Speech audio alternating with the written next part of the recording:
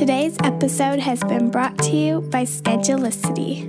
Welcome to episode 103 of the Connected Yoga Teacher Podcast. This is our third episode in the Yoga Studio Business mini series, and I'm so glad you've joined me today. We started this mini series back in episode 101. I shared what I learned as the manager of a yoga studio in episode 102, Steve Hart shared how his yoga studio has become successful and how he believes that a mission statement and core values contribute to that. Today, I'm so excited that you get to meet Shelli Warren because as your yoga business grows, you will need to at some point hire and nurture a team to support your business. As an example, you might hire an accountant already to help you with year end tax preparation. And if you're thinking, I'm way far away from hiring a team, that is what I used to think until my business grew and it was necessary for me to do so. Because as we know, hiring can be tricky and overwhelming. Shelli Warren joins me on the podcast today to share her wealth of information about hiring, building, growing and nurturing your team as you grow your business. So, whether you're thinking about hiring your very first team member, and this might mean that it's someone to help you with a website, someone to help you with your copy, someone to clean your house so that you have more time to work at what you love doing, or if you already have a team supporting you in your business, this episode has so much insight into leadership and team building. Before we dive in and meet Shelli, I want to say a shout out of thanks to Sarah. Sarah left a review on our Facebook page and she said, the podcast is an excellent resource for yoga teachers. Excellent interviews, encouragement, and education. Keep it up. Thank you so much, Sarah. We plan on keeping it up. Thanks for taking the time to leave a review. Also, Brigitte left a review saying, I recently had a consultation call with Shannon, and I can only say positive things about it. She has a way of asking the right questions, of saying the right things to trigger a deeper understanding of what I want to do and who I want to be. The homework she proposed is very useful and continues to help me develop my ideas following our conversation. Brigitte goes on to say, I went from having ideas all over the place and not finding a way to channel my creative energies to feeling focused and having a better sense of where I want to go in the future with my yoga workshop project on the history and philosophy of yoga. Shannon helped me to declutter my mind, which makes me feel calmer and generally happier with where I'm taking my workshops. Thanks, Shannon, for making us feel all more connected. Thank you so much for leaving that review, Brigitte. Also, listeners, stay tuned. This is actually coming together as a podcast episode, kind of the consultation call that we did, the story behind this. And so I can't really share it all now. We need to get on with our episode for today, but just stay tuned and know that sometimes these connections turn into more than just a review or a consultation call. Sometimes they turn into another podcast episode. If you are brand new here, let me take a little moment to tell you my name is Shannon Crow. I'm a mother of three, a yoga teacher, and a trainer and consultant working for yoga teachers. I really get what it's like to be in the jungles of yoga entrepreneurship. And that is why this podcast is here for you. It's here so that you can connect to information and inspiration every single week. The podcast is here for you when you're on the go and you're traveling between classes or you're busy tidying your house or walking your dogs. I know you guys are taking me along on the go to many places. And then when you get back to your computer, the show notes are there for you. So today's show notes are really worth checking out. They're at theconnectedyogateacher.com slash 103. Shelli has left a link that leads to lots of templates and downloads for you if you are interested in hiring or building or nurturing your team. One more note before we meet Shelli. Let's hear our hot tip of the week from Emily at Schedulicity.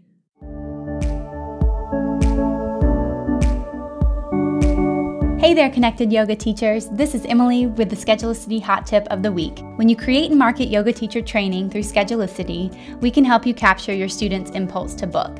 Once you've created your workshop, it's a great idea to enable the payment add on and choose to collect a deposit, full prepayment, or a credit card number at the time of online booking. This way, that money will go into your bank account when a client books, or if they don't show up, you can charge them based on the no show policy you've created. Knowing that payment is taken care of allows you to put all of your mental energy into helping your students become the next generation of excellent teachers.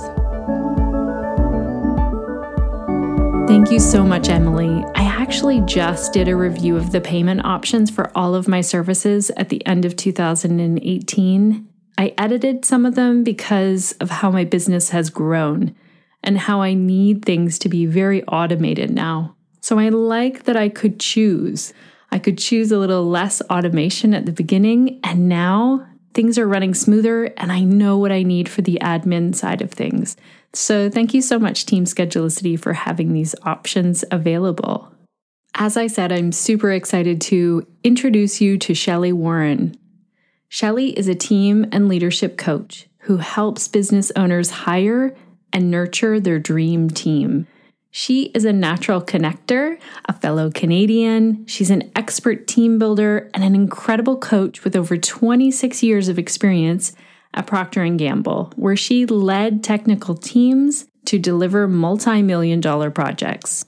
If you're a regular listener, you've heard me talk about Natalie over at BizChix, who is a business coach of mine. Well, Shelli is the Chief People Officer and part of the executive team of BizChix. She leads masterminds and strategy sessions that focus on strategies for growing and managing teams. Shelli also hosts her own podcast called Stacking Your Team. What I've learned as a business owner is that you can't grow a business without a team. And I wouldn't say it was easy for me to learn this. At some point, you'll have to hire team members to support you in the work that you do. Shelli is just the expert who can help you navigate the complexities of finding right fit people to join your team. She talks about the onboarding process and cultivating a strong team. She even coaches me in this call about how to nurture my own team. I'm thrilled to be able to share some of her wisdom and insights on this episode. Welcome to the Connected Yoga Teacher Podcast, Shelli. It's great to have you here today. I'm so happy to see you. I know we get to see each other face to face and chat. Super excited because I feel like I listen to your podcast, uh, the Stacking Your Team podcast, and you have such amazing comments in the BizChix Coop as well as we're friends on social media and I see all kinds of things there. And I've had to reach out to you, I feel like twice this month about um, issues around building a team. And so I'm I'm just excited that our yoga teachers get to hear from you today. Well, I'm happy to connect with them too. And I love the fact that you're a fellow Canadian. I feel warm and fuzzy anytime I get to meet another female entrepreneur that's from Canada. There seems to be such an overwhelming presence of US women business owners online.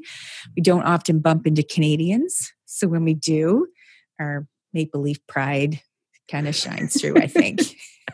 I know.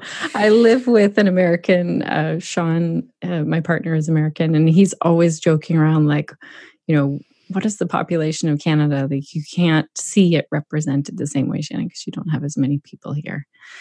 Um, but it's true. And a lot of our listeners are also from the US. And I think it's really fun too that we can make connections to various countries and all over the mm. world and then and then really find those things like being a fellow Canadian is is fun. So I want to dig in and ask you some questions today about building a team and I know a lot of our yoga teachers have been reaching out and saying when do I know when to hire when do I hire someone to help me and what could they help me with and then we have other yoga teachers who run yoga studios so they're right in the midst of it. So if we start at the very beginning what is the first aspect? If we are looking to hire someone do you have any tips around that? Like before we even reach out and put a put a job out there? Well i think the first thing you need to ask yourself when you feel that you need to hire is to stop get centered and ask yourself why am i feeling this way? Because oftentimes we can get shrouded with what we see other people are doing, right? So if it feels like it's really hot and sexy to hire an online business manager because that's like the hot thing right now. But in reality, your business does not need an online manager manager right now. Like you may need some help with some admin, but people who really think, wow, I need an online business manager, and then they go through the process of trying to find one, and then they find one. Oftentimes, they're finding them and bringing them on board too soon in their business. And then that feels like a burden. It's a burden for pay because now you have to pay this person every month. And typically, an online business manager is on a monthly retainer. So now you're kind of on the hook for this monthly bill. And then the other thing is, if they're really great at what they do, they're going to get bored really quickly because you're not serving up work for them or enticing work for them because you ended up hiring them too soon in your business journey that you don't really even have that work ready for them to do yet. So, the first thing I would ask people to do when they think they need to hire is really stop and think why am I feeling like I need to hire? And if it truly is some of that like compare-itis, like you're comparing yourself to everyone else online, then you just need to dial it back and ask yourself again, why am I feeling like I need to hire? And if it really is because of overwhelm, and many business owners are overwhelmed right now. And it's typically because they're trying to wear 17 hats and they're trying to do it all. That kind of overwhelm is real. It's very real. So then it comes to a point where you need to still stop, get centered, and ask yourself, what would give me the most relief and the most joy to stop doing right now? Right. And if, if the answer is, email gives me anxiety right? Like if people are opening up their inboxes and they feel the anxiety coming on, then there's a clue, there's a symptom, right? There's a reason to look at having someone come and join your team that can manage your email for you. Or if if you do have some sort of an email process where you're actually reaching out your client base on a regular basis and the stress becomes not knowing what to say to them or how do I stay connected to them? How do I know I'm even serving up anything that's of interest to them?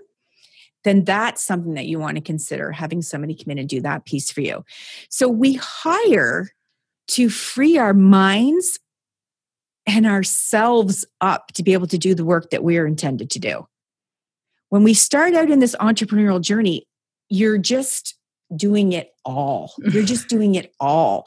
And then you you wake up one day and you think, "Wow, I'm more burned out now than what I was when I had my job." And that's not really what you intended, right? You intended when you left your traditional workplace and went into the entrepreneurial world, most people took the big leap because they had intention of slowing down, getting centered, following their purpose, doing their life's work, having joy every single day. But oftentimes, what ends up happening is the exact opposite. And it's typically because they're trying to do too many things that's not really their strengths, but they feel compelled to do it anyways. And then oftentimes it just become just overwhelmed and they I know some people who actually fall out of love with their business because it's feeling more like a hardship than a joy. So when we think about hiring, come to center, ask yourself, why am I feeling like I need to hire? And then look at if these are the things I'm feeling, and I know for sure that this particular aspect of my job wears me out. I'm not having time in my life to do this and that, which was really my intended purpose. If you're spending so much time in your business and not enough time nurturing and developing the clients that you were so delighted to be able to serve in the first place, there's a key right there. Yeah, I think you're speaking volumes to our yoga teachers. So I know yoga teachers will graduate out of their first yoga teacher training and they're just super excited to share yoga, to practice yoga, and then take what they're learning and and bring that to their community, either one on one or in groups. And then what bogs them down is exactly what you said like checking email, sending out a regular email, updating social media, um, creating graphics, making a poster. These are all things that I think that we don't know the amount of work that's going to go into selling our yoga when we're in our first yoga teacher training. Sometimes it's not even covered. Sometimes there's maybe an hour or a few hours of business practices, but that's it. so um, I love how you said, though, that it can look sexy to to hire a business manager because I do hear a lot of buzz now. Like people are calling it different things, like an online integrator, mm-hmm. business manager. And you kind of feel like, oh, this will be good. Someone will just take the reins and, and then it'll make my life easier. But you're saying look for what's really stressing you out. And I love how you said, come to center and get grounded about it first. Our yoga teachers should be good at that. Yeah, because I just find people stay too too long up in their head, like they're up in that head space, and that's when those thoughts can really just start to jumble us up. And we really are actually listening to and paying attention to outward signs and outward thoughts and outward pressure. When in reality, we need to come to center and ask our own self, what's going to work best for me at this stage of my business? Knowing that you will have aspirations, right? We look out into the world, especially you can look out into the world and look at yoga teachers out there and be totally inspired by what they're doing and be able to use them as guideposts. You know, at some point, I would love my business to be like hers. At right. some point, I would love to collaborate with her. I would love to learn from her. But in reality, let's just look at ourselves where we are right now and realize that we're all on our own journey and you will move through the development phases of your business at a time that best fits you and what gives you joy versus thinking, oh, I have to be on that hustle track, you know, where I've got to just hustle, grind, hustle, grind, be the boss, you know, all those kinds of terms that we hear in the online world. Where, whereas in reality, that type of language and that type of philosophy does not fit all of us. And that's okay. You just need to find what does and stick with that. Right. Now, I love that you say this because I want to tell our listeners where this comes from. You managed a big team at Procter and Gamble, right? How many people were you in charge of hiring and managing? I hired I hired and led many many teams, but the biggest team that I had at one given time was 60 people. And having that many people to look after and care and nurture is you're pretty much doing that 90% of your job is actually people development and having those one-to-one conversations being aware of who on your team has desires you know who on your team needs to pick me up today who on your team needs another opportunity to shine who on your team needs more guidance.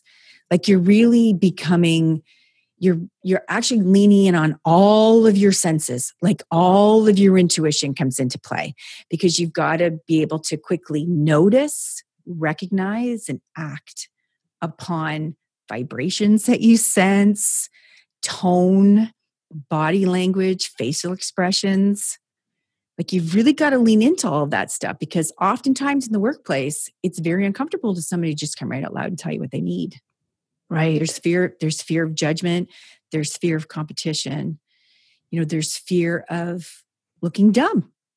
Right, right. Right. So you as the leader, you've got to really be able to pick up on all the signs that these people are the outward signs that people are giving you, be able to read them correctly, and then be brave enough to act upon it and believe me people appreciate that right? People really appreciate the knowing that you have where you create a space for them where it's safe for them to say whatever it is they need today. And oftentimes it's all anyone's really looking for is to be seen and heard. Hmm oh i think that's so true. That's the foundation yeah, you had a great episode on best bosses, and I was on that mm-hmm. talking about exactly yeah. that. My boss would leave and then say, Great job today, Shannon. You'd think it would get mm-hmm. old, but it was really nice to hear that every single day. Let's back it up a little bit before we get into sort of how we take care of the people that we hire. Let's back up to do you have any tips on when we go to hire? I know that one saying I think I learned from you is like, hire slow and fire fast? Mm-hmm. Yeah, hiring is a project. Okay. Right. Many people think, oh, I, I need to hire somebody. So I should be able to find someone and get them here and get them on board within two weeks. You could do that. That could happen. But in most cases, that's not what's going to happen, especially if you're looking for someone who's going to be a great fit for your organization. We can all go out and stand on our down on our main street and yell out that we're hiring and have a bunch of people come up and be interested in the job we could pick one and hire them within the hour. We could all do that. But that's not what you want to do because you've spent a lot of time develop, developing your business your brand and your culture and every single person that comes to join becomes a key player. They're either going to help move the organization forward or they're going to actually stall. And you want people that are going to come in and they're going to help you move your organization forward and run alongside you. You don't want people that you have to constantly have to be turning around and dragging them up alongside you or dragging them up alongside where the customer needs you to needs them to be.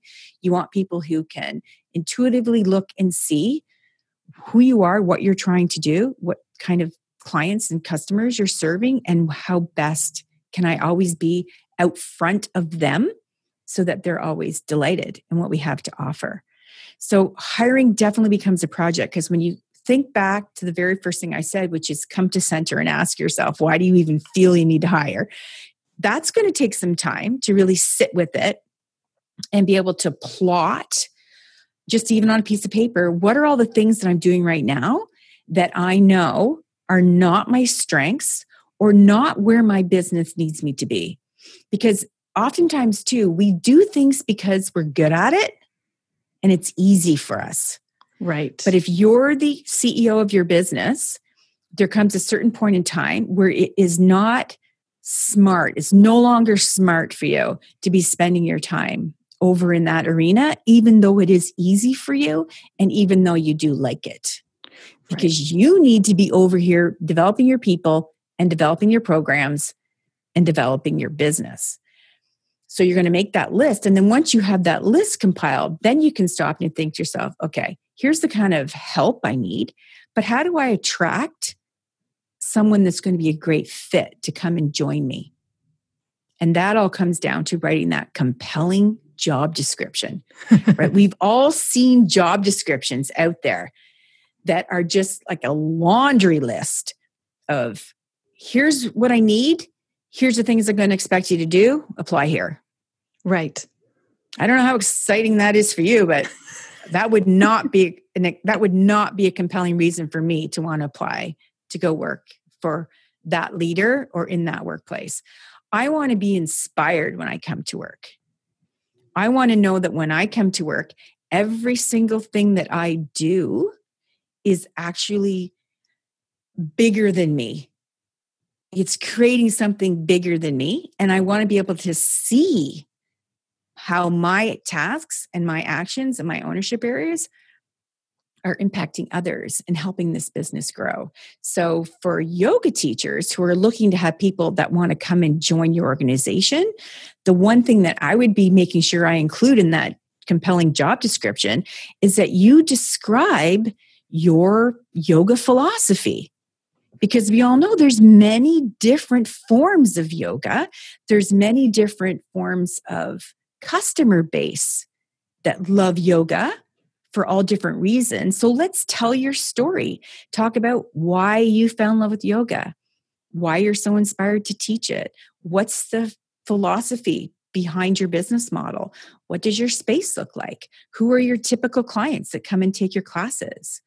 What are the kind of guest teachers do you have on your roster that come in to offer up new and on trend methodologies within the yoga world, right? Like you're going to want to tell all that because that person that's thinking of coming to join your company, even if they're coming in as the admin, they're going to want to feel that they're part of something really amazing. Mm-hmm. Oh, that's so true. And I love how you brought this forward. And I feel like when I was managing different yoga studios, there were three of them, and we were hiring teachers it was almost like we came from this mindset of like, let's put it out there and see who shows up and then see how they fit. But we had some train wrecks in that. Like it mm-hmm. was, it was, um, you know, we hired one teacher and she started talking to the whole class. It was a movement based class, it wasn't yoga. And she started talking to the whole class about what they should and shouldn't eat. And we had like four four people come back and say like i feel like i went to yoga class or to this movement class and got shamed and i i yeah. don't want to go back. So i think when you say let's put it in that letter so do you do you get people to look at their mission statement and their values core values and include that in there? Yeah you really want to be able to tell the story as to why this opportunity is so amazing Okay. But it's amazing for the right kind of people. So you're going to tell the story in the hopes that you're going to actually repel the people that are not going to be a fit for you. And that's okay because that's actually making your work easier for you. Right. Right. Instead of having people kind of, well, it's kind of interesting. Maybe I'll check it out. No, you want people that are going to read that job description, follow the process to apply, including all the detail, and then be wanting to follow up with you because they're just so darn excited for the possibility of maybe coming and joining your organization. And then when you talk to them and find out why, they'll tell you. And this happens to me all the time. Like I will my very first question when I interview someone is what compelled you to want to apply for this for this role? And 80 to 90% of the time, they'll say to me, it was that job description. Right. I just loved the way you described what your workplace was like. And oftentimes people are drawn into those things because they come from a bad experience, right? They come from a place where they felt like a number. Right. They come from a place where people didn't even know their name. Right? They come from a place where leaders don't even talk to them unless something's wrong. Hmm. So when they see a job description that describes the average day in the life of the connected yoga studio, right? The yeah. average, here's what a day in the life would be like coming and working and, and joining our team. And you describe that in a way that is meaningful to the right people, they will they will be attracted to it and they will want to apply. And then others that read through that will go, no, this is not for me. That's right. too chill. It's too chill. I'm fast paced. I'm I want to hustle. I want to know I'm driving against this metric and that metric and you know, I really want to get out there and really bite into something. Those people are going to say no, this isn't for me. And that's okay because now you're not going to waste your time or their time interviewing them. I feel like you already have a template for this, correct? For the job description. Okay. So mm-hmm. I'll make sure to link to that in our show notes uh, and to give our listeners that so that if they're feeling like, okay, I need to see an example of, of what this would look like. Um, so, also, one piece that I have gotten from listening to you and the work that you do with building this team is be really fussy on that intake. So, just a reminder that Shelli works on the BizChix team now. And part of that work that I'm fascinated by is that when someone applies, you have like this little list of things that they need to do that are really nitpicky in that application process. And I actually used this the last mm-hmm. time that I put a job out there and it worked so well, but it was hard to execute. So, for example, it was like, you know, don't send me an email. Make sure you fill out this form instead and do it in this way. And all questions have to be answered, like all of these things. And I put a few trick questions in there. And if people weren't um, answering them like in the in the way I was uh, like they had to do a little bit of research and digging to do that. Mm-hmm. So if they didn't, it was just like mm, that application is done. Like I don't even have to look at it. Do you want to explain any more about that? I'm not sure if I have. yeah. So the whole idea there is that you would build in a couple of triggers in the application process. And one of the easiest triggers to build in is to tell people to apply for this position, forward your resume and letter of intent by an email using the subject line yoga is makes me feel so bendy right like whatever Right. you choose. Yeah. whatever you choose. So now you open up your email and you see all these inbox messages that are coming through. And the only ones you're going to look at are the ones that have the subject line Yoga makes me feel so bendy. Those are the only ones you're going to click open and look to see what's inside.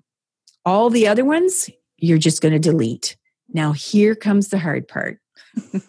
For many heart centered leaders, they'll see these applications come through and they'll be so compelled to go and click and open it. And then they'll start reading through and they'll start learning about this person. And then they'll start thinking, well, you know, maybe she was just distracted and, you know, something just got in her way and she didn't you know, realize what all the detail, you know, we just want to give everybody an opportunity. But here's here's where you know you just got to draw a line in the sand. The CEO does not have time to go through every single one of those applications. You're looking at the best candidates. You want to consider bringing in the best candidates for an interview. And the best candidates are people that can follow instructions right. and people It's- who are going to put their best foot forward as an interview because or like applying for the job if they can't put their best foot forward when they apply for the job when will they Right, right. It's like due date time. Oh, I like this a Mhm. lot. And I have seen what not doing this also does in many different jobs. You know, when we used to hire at actually it wasn't so hard for me when I I managed a large animal vet clinic, co-managed it. And I remember we we put out this that was when we were looking for paper resumes. And they would put me in charge because I was like, nope, spelling mistake. Nope, I think it's ugly. Like Mm-hmm. they were like Shannon, just pick out like the top three to five of these or something, and and uh, it it was easy for me knowing like I want someone who's going to be as attention to detail as our team already was. So that's good. To yeah know. and if you don't need anybody that's attention that has a certain level of attention to detail then fine that's cool but if your business requires you to have people on your team that are going to follow processes and standards and job aids and checklists and intake forms and you know if there's processes built into your business that requires people to do whatever they can to eliminate errors and that usually equates to attention to detail then you need people on your team that naturally have the ability for that attention to detail and who can follow instructions if you don't need that then don't ask for that kind of a trigger right. So you had said make this list of things that we don't enjoy doing. And here's my Mhm. struggle in this. If I look at it and I know, okay, email gives me anxiety, Mm-hmm. One, I have a hard time passing that off to someone else. I'm like, well, obviously it must stress everyone out. You know, I don't want to mm-hmm. do it. And so, how would I write an inviting job description when I'm not super passionate about those things? Can you touch into that mindset? Yeah. So, first of all, you have to realize that things that you really dislike doing, others jump up out of bed to go and do. Like everyone has their own likes and dislikes. So, what you can do when you create that job posting is give it to another trusted person within your peer group. Could be a family member, could be another business owner in your local community who you really respect her his opinion have them have a look at it and see if it if it's ringing true for them because as you're writing that job description you can see in the template that um, i'll provide for you i use language that says you are excited with the prospect of coming up with fresh email content every month to share with our subscribers. Right. right? That doesn't mean you shannon is but this person is Right. right so it's really just how you word it that way or sometimes there's also a couple of examples in there that says you feel joyful taking care of items that other people typically are overwhelmed by doing Oh, that's good. Right. So Oh. so that could be things like let's say you have um so I'm trying to think back like in a yoga studio you'll have inventory that you need to manage, right? So you'll have your mats, you'll have your blocks, you'll have your your CDs or your audio equipment. You'll have your um, your reception area. I'm sure has an intake desk, all that kind of stuff. So this person would be the one that would make sure that everything is put back to base at the end of the day, right? So it's the whole idea of you set the studio up for success for the next day.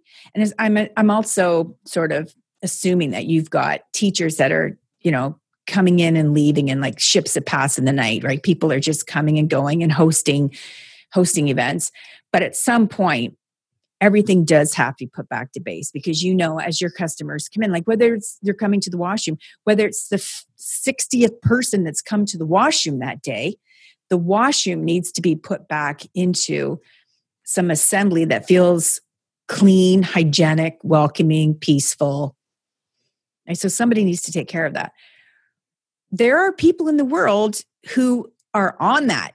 Like they Right. see it, they feel it, they get job satisfaction of knowing that they can go in and do a quick refresh of your bathrooms so that every single client that's coming to use your washroom during the day for it, whether they're there for a half hour class or whether they're there for a whole day workshop that when they walk into that washroom facility they are delighted with what they find there hmm This is so true. I was leaving the yoga studio last night. What I love to do before I go is line up all of the bolsters so that the zippers are not facing me.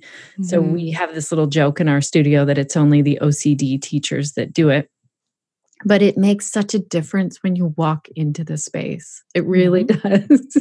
and so I enjoy doing that. It's like part of my ritual and routine leaving the space. So you're right that everyone would like doing something different. It's like some people love accounting and numbers Mhm. um, and checking email. It's hard for me to believe that someone else wants to go through my email and sort it, but you're you're making me hopeful.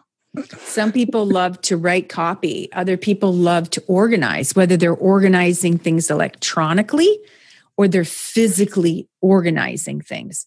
Some people love the whole idea of a startup and a shutdown list.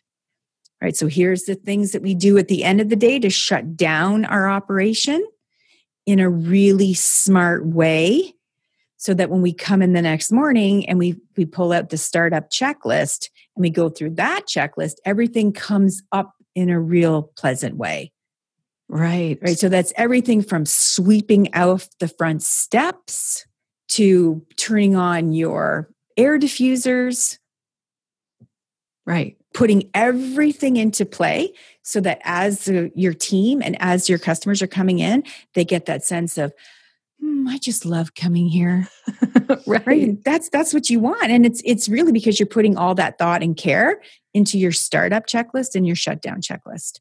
And those startups and checklists are used in all types of businesses from the factory floor to the auto mechanic to the airline right everybody has a startup Right. and a shutdown checklist and there's no reason why a yoga studio doesn't have a need for it too You're making me think that I need one for my own self. okay, what do I have to start with, Shannon? Actually, we have some of those. Like, we have some little checklists that are really Mhm. helping our team. Like, this is what happens next. This is who's in charge. So, especially with the podcast, that's helpful. So, once here's my issue as someone who has now hired a team, we have a great team working for us. And I didn't even think that was going to to happen but everyone has their specialty. You know we have our our show notes writer our audio editor and then our va so for yoga studios it's going to be very different. It'll be you know front desk yoga teachers maybe someone who helps them with their accounting or someone who mm-hmm. helps them with advertising. How do we look after these people? Like once they're on our team and here's a place to start with it like i don't know how many team meetings we're supposed to have like it's the same thing in a yoga studio as it is within a virtual business. You barely see your team. I feel like everyone, like you said, they're ships in the night and they're just passing. Maybe they meet up for workshops. But what does it look like and how often should we be connecting with that team? Well, I'm not a fan of having a team meeting just for the sake of having a team meeting, right? No one's really into that. But you definitely need to get on some type of a drumbeat so that everybody knows we have a team meeting the first Thursday of the month. You could host it before the studio opens or or immediately after the studio closes.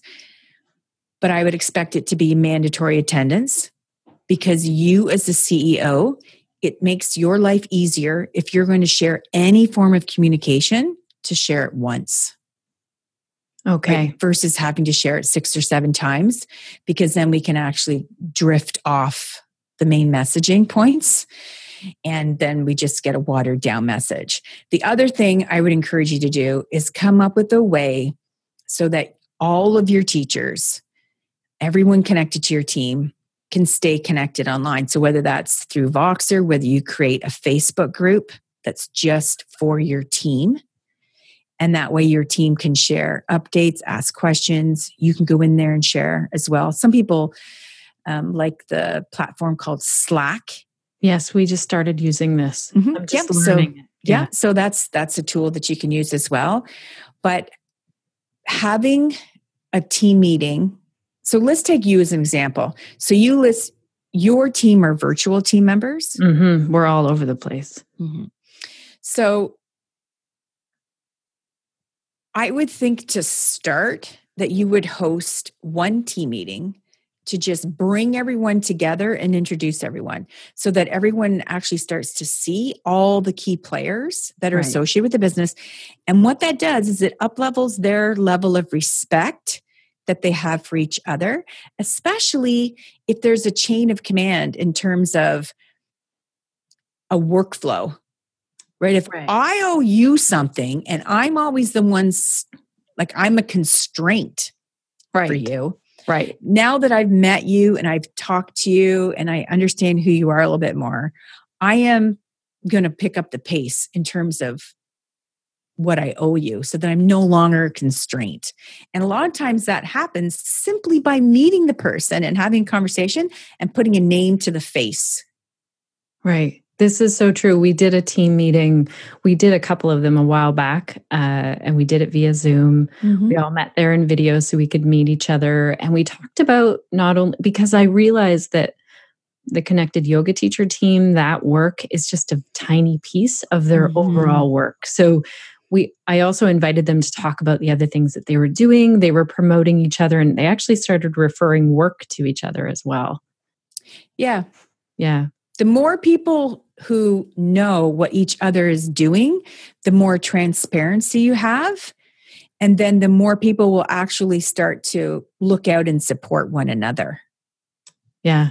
So if you have a virtual team meeting with your, I'm going to call them like your back office virtual team, I would suggest that you start having one of those at least once a month so that you can talk about new projects that are coming up, right? If you have seasonal workshops that are coming up, or you have some kind of launch that's coming up, or there's a new series that you're launching on the podcast, you're going to want to give people a heads up for that so that they can plan in accordingly for that. Your yoga teachers are a separate part of your team, and I think they will gel together hosting a separate team meeting with them, but the same presence, you know, the same presence is there, right? Let's talk about what's coming up. What can we get a jump on ahead of? What's working in the business right now? What's not working in the business? Who needs help? You know, what looks like help to you? What are, you know, are there any any type of gaps in the process right now? Like, is there any questions that are left unanswered? Are there workflow processes that are kind of janky, you know, you're not feeling like it's flowing enough? Let's talk about that. And then understanding what each unique teacher brings to the party, because that's when those referrals will start coming along. That's when the testimonials will come along. And that's when that whole level of respect for one another is really going to elevate because they start to know each other as people. They're no longer just seeing a name on a schedule, Yeah. like they're actually seeing this person. So if a yoga studio is hosting this once a month, my my initial thought is that yoga teachers are going to be a little reluctant. Does that yoga studio pay for their time or is it just it's part of the job? Well, I think what I'd like you to do is to host one, host one of those meetings, see how it goes, like what the vibe is, see how many people are engaged in the conversation, right? Because it can't just be you leading this team meeting. Like you're going to kick it off and you're going to have an agenda and you're going to tell them in, in advance what the you know what's the intent of the meeting and here's the agenda. But then you're also going to tell them that you're going to leave time at the end and this an open floor conversation for them to be able to talk about whatever they want to talk about. And then to close off that meeting i would be asking them you know what worked really well for you in this team meeting? And what did not work well for you in this team meeting? And you may be need to be prepared to hear things like i would have preferred to come in on a saturday morning and do this right or um, I feel it was too rushed. I would have liked to have more time to talk about this, this, and this. Like they will give you the feedback. And then the other question for them is how often would you like to have these meetings? Right. right? Like let them have a say in that. And they may say, I think we should be doing this. We should kick off every quarter with one of these team with one of these right. team meetings. And that's when you can say, you know what, I love that idea. Let's make sure that if we're going to host one at the beginning of every quarter, that we really maximize the time that we're coming together. Let's have a really robust agenda. You know, can I have some volunteers who would like to lead this part of the agenda?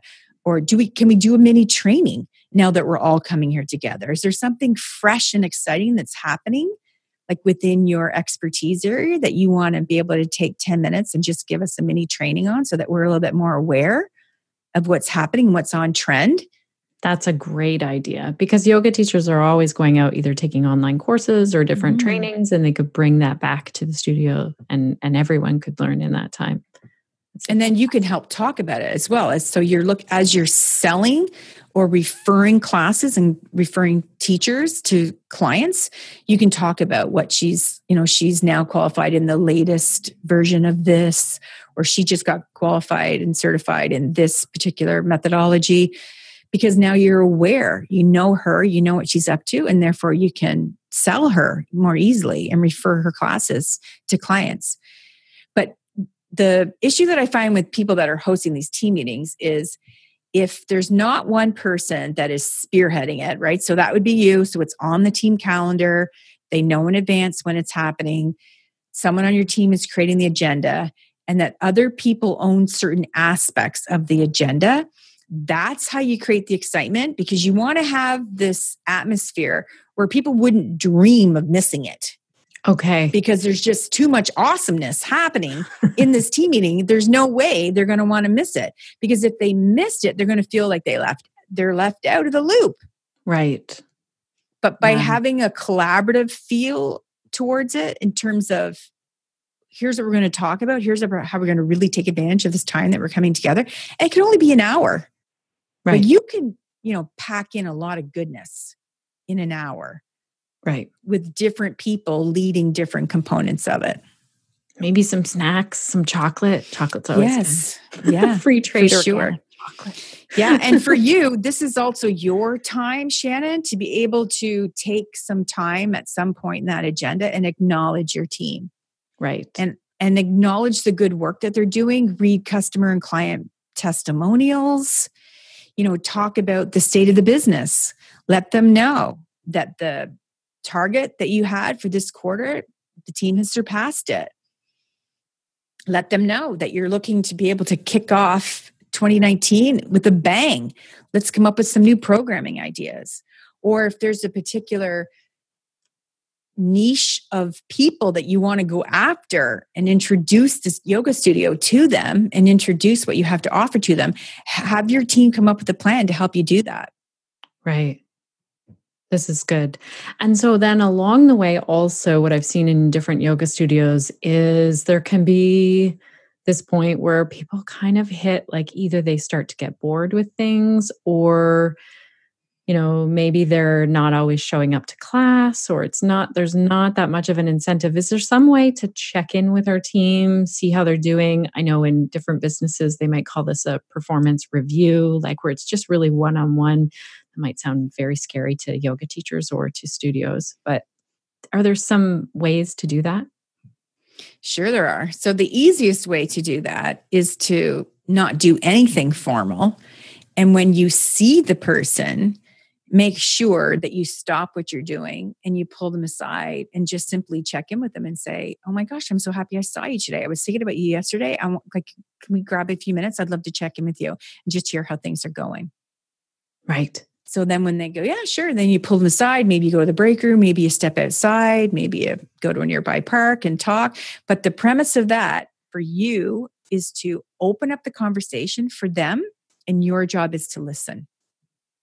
Oh, this is good because I would I was assuming you were going to say like pull them aside and tell them all the things that are going well and all the things that you see that need improvement, but you're saying just sit there and listen to this person. Yeah, you open up the conversa- conversation by saying, "Tell me how's how's it going? What do you feel is really working for you? What's what's the most exciting thing for you that's happening right now at the studio?"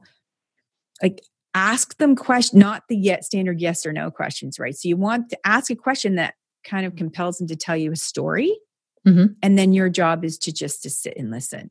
And then you can follow up that conversation. Like you, the more they talk to you, the more you're going to say to them things like, well, you know, I just wanted to make sure that you're aware that twice this month I've had people reach out to me and tell me how much they love your class. Right. But then you have to, that feedback is good, but better feedback is when you say, twice this month, two people have reached out to me and told me how much they enjoyed your class. They love your style. They love the way you're non-judgy when I when they walk in the room. They love the fact that even though they're beginners, you treat them like they're advanced team members here in the right. class. Right. So you're giving them the basis of the feedback, but then you're also reinforcing the behavior that your customers love and that you want to make sure they keep doing more of. Right. Okay. So you kind of find, polish off those strengths that you see and like enable them to be able to see it as well. Well, mm-hmm. that's good. Yeah. And then the way to wrap up that conversation is to just tell them a few things like, you know, here's a few things I really appreciate about you. And you, it can be as simple as I love the fact that you're here 20 minutes every time before your class. Right. It doesn't matter if you're teaching a morning class or you're teaching an evening class we know that you're going to be here 20 minutes prior to your class so that you can get in the zone, get centered, and get in the space that you need to be in order to delight the people that are coming to your class. And then you can also say to them, I love the fact that your time cards are always done on time, no errors, or you know, pick a few things that this person is doing really well and just make sure that they know that you appreciate that about them. And so, for us working virtually with a team, or say if we don't see those yoga teachers very much, like even if we have a workshop and we have a teacher coming in, how would we reach out to them? Would we do that via video? Like it's going to be less like just bumping into them and saying, hey, let's go for a coffee. Any ideas around that? Yeah, you can use a Loom video. Okay. So, Loom is free, it's so super simple. And it takes the email up to a whole nother level because they actually get an email with the link. And when they open the link, there's little Shannon, like in a little circle, and she's talking to you. It's pre recorded. They can save it. They can go back and listen to it a million times if they need to. You know, they can save it into their warm and fuzzy file. So when they're on a day where they really need a boost and they really need to be reminded that they are enough and they are making great impact in the world, they can go back and reopen that message from you and see and hear and feel that validation all over again. Right. This is really super important as a person. I know myself leading a team, like we're all kind of head down doing our work. And I wonder how often do I need to be doing that? Like, would I do that Loom video once a month for a virtual team or yoga teachers who I'm not seeing all the time? Is there a magic number? Or is it just when or is it when they come to mind like? No it's not when you come to mind. Like part of being a ceo is this is part of your work shannon. Like this is part of your work now. So you need to get out your calendar and plot in times that you're going to meet with people that you're going to follow up with people with an email you're going to create a loom video for this person. And prior to even executing on that thought and that idea, there's going to be some time set aside. You're going to have to do some research because you might want to yourself can do this, or someone on your team might be able to go through online and they're going to capture, they're going to screenshot all those testimonials and put them in a file for you. So that when you're going through and you're going to create a Loom video for one of your teachers, or you're going to send her an email, or you want to have a talk with her before her class, you're going to want to be able to show like solid examples. Like here's some screenshots, Emily, from your raving fans just in this past month. Here's the screenshots of the testimonials that have come through the Facebook page just this month alone for you. Right. And you just put those, plunk those into an email or put them on a PowerPoint slide or, or, you know, print them up and put them, if you have like a back room where all your teachers get you know like they have maybe they have a private dressing room i don't know i've never been to your studio but if you have a place that's private that your team kind of collects and gathers you could print those out and put them on a bulletin board there. It's very inspiring for other people to be able to see you know what's the word on the street about emily as a teacher?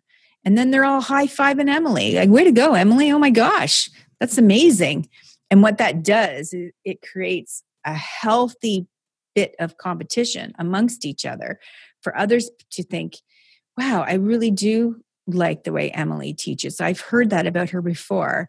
Maybe I'll consider adopting some of that style into my next class. Right. Oh, that's a really good point. I know that we used to have feedback forms at the studio mm-hmm. and people would fill them out downstairs. So they would go downstairs just before they leave. They had the option to fill it out there. We wanted it to be anonymous and because mm-hmm. uh, it could be good or bad, like just let us know. And uh, we kept getting this one comment that the washroom floor was cold because it's like stone. Yeah. but mostly it was feedback about the teachers and their classes. So that'd be a great place to sort of collect those. Or maybe there's an email or a survey that goes out and and to bring that in. I like this. I like that it's on the calendar and the, that you said it's part of our job when we start building that team.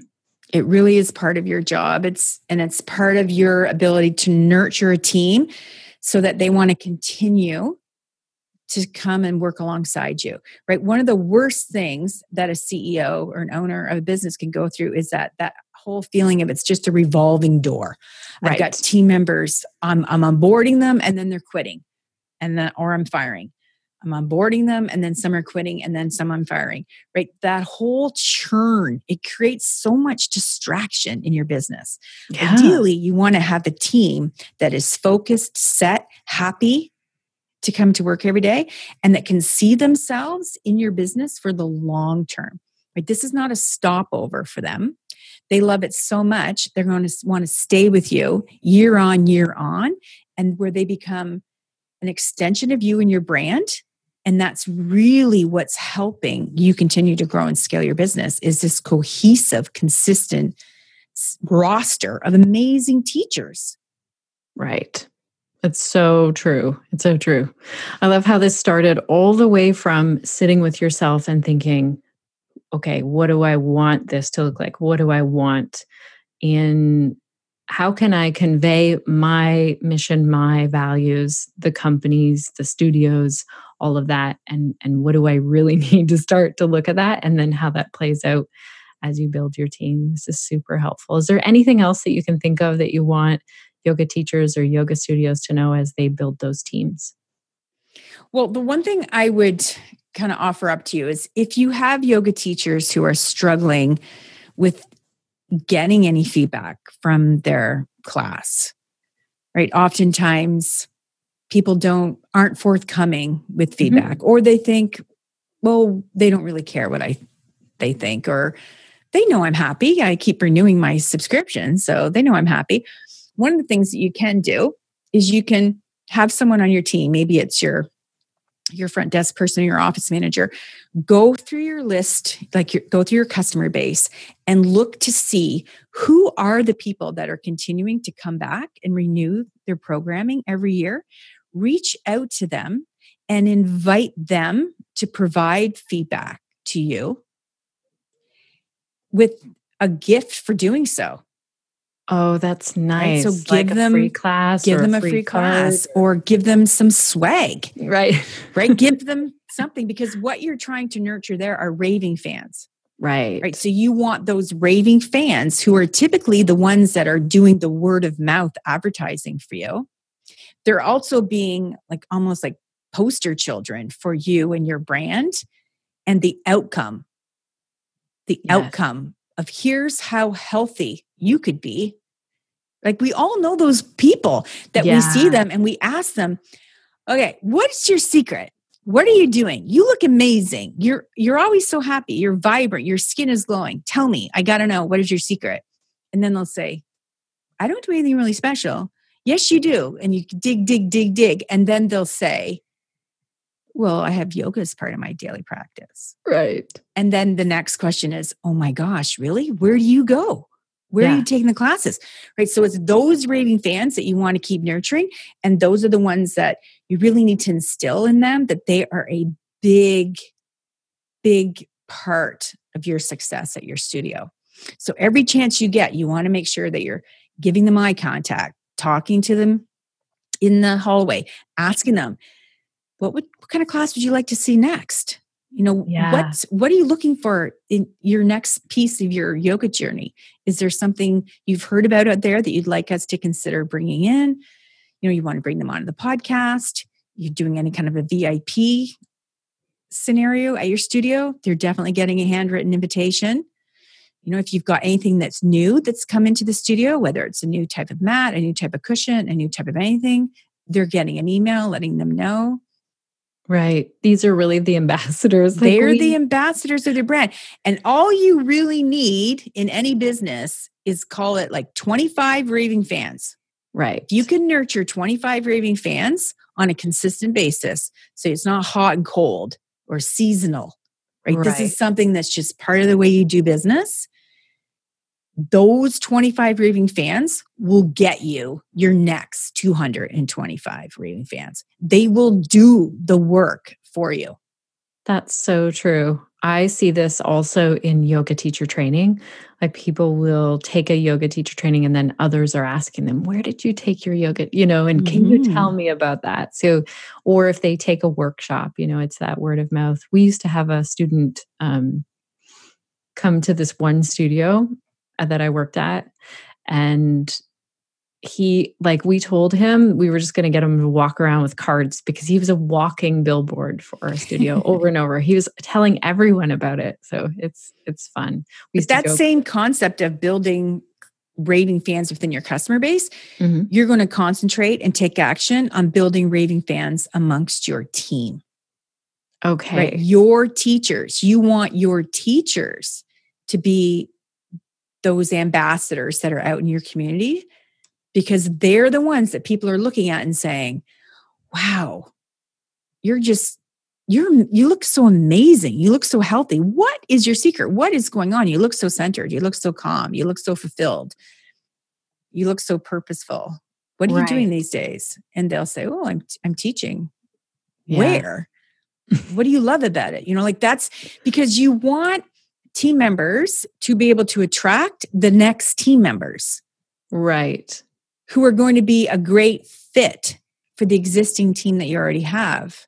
right. And that starts with the existing team, oh yeah. Right? So if your existing team is happy and love what they're doing and feel like they're very, you know, living a life on purpose, that they're really having a larger impact in the world, that they're being able to play to their strengths, get paid for their brilliance, creating more and more connections in the world, they're going to talk about it. Yeah. Because they're just going to be so joyful about it. And that's how people are just going to keep hearing that story, becoming intrigued, wanting to know more about them, wanting to know more about the studio that they serve, wanting to know, well, hey, is there any other opportunities? Are they hiring right now? Are they looking for any kind of guest speakers? Do they have some kind of theme coming up next quarter that I could maybe right fit in and do a class about? Yeah. Is Shannon looking for podcast guests? Is there a way for me to introduce Shannon to another connection that I have locally who I think has a complimentary event that they're hosting? Right? It's all those kind of conversations.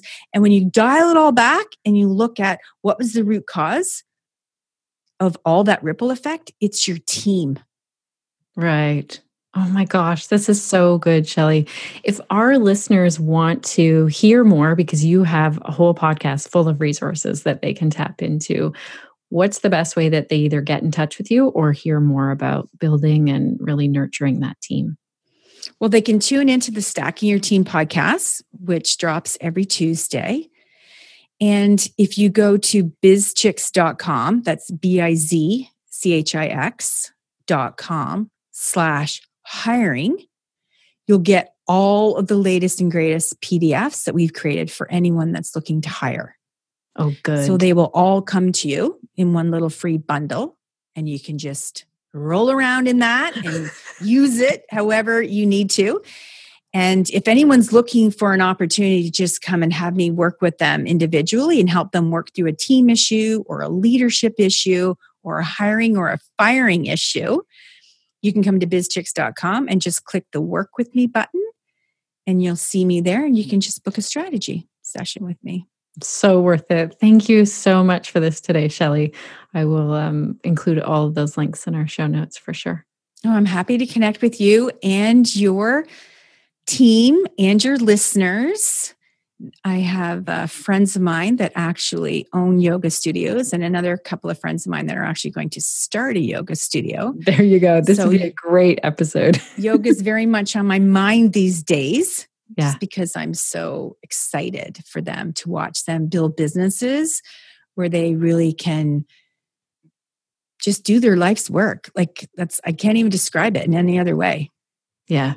Mm-hmm. Super important. And I love how you brought in all of the pract- practical stuff so that we can um, do that, do exactly what you said, our life's work. Like mm-hmm. we, if we put all of these systems in place and and deal with the business stuff and hire out what we don't want to be doing, then we can really show up for what we do want to be doing. And isn't that the whole purpose right there? Yes. not that your ideal life right there in a nutshell? It is. It mm-hmm. is. All right. Well, it was great talking with you today. You too. I hope to see you again soon in person, I hope, one day shortly. I know, soon. We will do that soon. Okay. Bye now. Bye. Well, connected yoga teachers, how was that? Are you feeling all ready to dive in and hire a team member? Or are you thinking of ways that you can look after and nurture your existing team? I would love to hear your key takeaways. I know that a couple of my key takeaways were this really looking at why we want to hire someone first. So I love that Shelli added in this pause first and think about do I need to hire someone? Why do I? And really listing out all of the tasks that you are doing now. I think this is the one key takeaway that I would choose as homework. If I could pick a homework one, Maybe you thought of something else, and if you have, you know, hop to it. This one, though, is hard for me. Maybe it's hard for you as well. I did this at the end of 2018. I listed out all of the tasks that I'm currently doing, and I started to put little marks beside them, like the ones that I don't like doing, the ones that I would really like to pass off to someone else, and the ones I love doing, or the ones that I can't pass off, like doing this podcast. This podcast is my voice and I need to be here. And this is something I love doing. If you're like me, sitting down to write this list gives me a little bit of anxiety. I think, well, instead of writing this list out, I could just get to some of these tasks. But it makes such a difference. And I have to say, after talking with Shelli, I'm even switching my perspective to looking at tasks that I might add to my list that might not even be for me at all. So, one example of this is Pinterest. I've thought of adding Pinterest to my marketing, but I have zero interest in Pinterest. So, if I add it, I want a team member in charge of that completely. I don't want any part of it. Also, with regards to my own business, I've started to look at what can I really keep passing over to other people so that I have time to create more content for the yoga teachers out there because that is the work I love doing and very honestly, that's the work I get paid for. People hear my content, they hear me sharing, and then they want to book with me. I also love how Shelli shared how important it is to share your story, your yoga story, and your kind of what's at the very core of your yoga story to your team members. And this really goes in line with what Steve talked about last week in episode 102. So go back and have a listen to that if you're looking at your mission statement and your core values. One thing I'm definitely implementing in my own business, thanks to Shelli, is at my next team meeting, get ready for it. Suzanne, Samantha, and Crunch, hold me to this one. I went to ask my team what worked well with our team meeting, what didn't work well, and how often would everyone like to have team meetings. I feel like there was so much in this episode. So if you are taking one thing, if you have a key takeaway, just work on one thing for right now. Before I sign off, I just want to find out if we can meet up in person face to face. Did you hear that Schedulicity is sponsoring a gathering for us in Toronto at the same time as the Toronto Yoga Show? There's a private gathering. You are welcome to attend. Tell your yoga teacher friends who live in Toronto, who are coming in for the conference, or who are able to travel in just to even meet up. It's happening Friday, March 29th. And you can find out more about this on our website. In our Facebook group, there's an event there, and I will be sending it out in an email. I'm super excited that at the Toronto Yoga Show, I'm actually going to be doing interviews with yoga teachers. So if you want to be interviewed and share your key takeaways from the conference, I would love to talk to you. Also, I'm sharing two trainings this year. One is yoga for pelvic health. That's not until the fall, November. But coming up very soon, I will be in Bermuda and Meaford, Ontario, sharing Mama Nurture prenatal yoga teacher training. These are two trainings that I'm super passionate about. These are really my niche offering in terms of training, and I would love to connect with you at one of them. Huge shout out of thanks to our connected yoga teacher team, Samantha, Suzanne, and Crunch, and also to our sponsor, Schedulicity, and to you, listener. Thank you so much. It's time for me to sign off, but I want to know what will you be doing this week to stay connected? So maybe this is to your own yoga practice, maybe to your community, maybe to your friends, maybe to yourself. I would love to hear about it. If you are on social media, tag me and use the hashtag the connected yoga teacher, especially on Instagram. It is so fun to connect with you online, here each and every week with the podcast. I just want you to know I'm super grateful for you. Take care, connected yoga teachers. See you back here next week.